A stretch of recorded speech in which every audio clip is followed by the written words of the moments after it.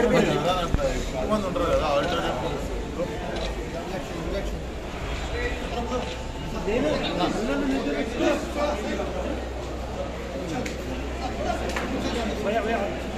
Cinema hit తర్వాత love story బయటికి పెడతాను కదా ఇప్పుడు ఒక్కసారి ఏం చేయాలి లవ్ స్టోరీ బయటికి పెడతాను కదా నాకు సినిమా నేను ఎప్పుడు చెప్పినా అరే చెప్పులు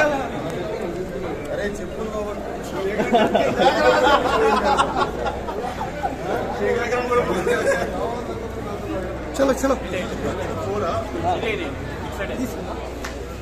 స్టార్ట్ అయిపోయిందా? ఇప్పుడన్నా